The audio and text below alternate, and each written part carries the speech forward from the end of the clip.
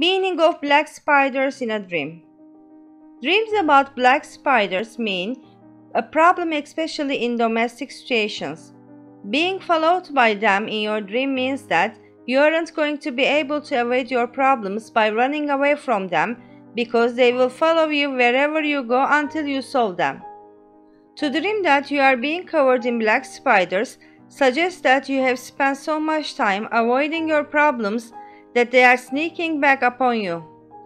You have tried to put them aside and show them to the corners of your mind for so long that they are accumulated to a point that you, they are undoable.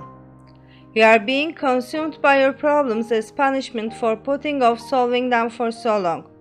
Maybe next time you will think twice before you try to dodge your issues. To dream of being a black spider suggests that you have self esteem issues. You feel as if you have been predatory lately and don't like that aspect of you. You have been sneaking up on people and surprising them in negative ways rather than positive ones.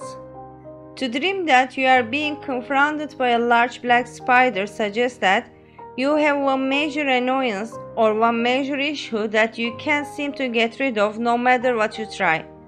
The spider is too large to be stomped out in one blow. Now, you can no longer solve your problem by just doing one thing as it has spread to multiple areas of your life. You need to come at it through different angles and on different sides in order to vanquish it. Most people see spiders as annoyances.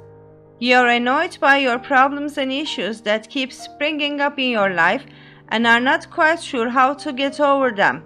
But there is a way, and this is a way that you will find soon enough. You simply have to be patient and take things one day at a time without allowing yourself to get too overwhelmed.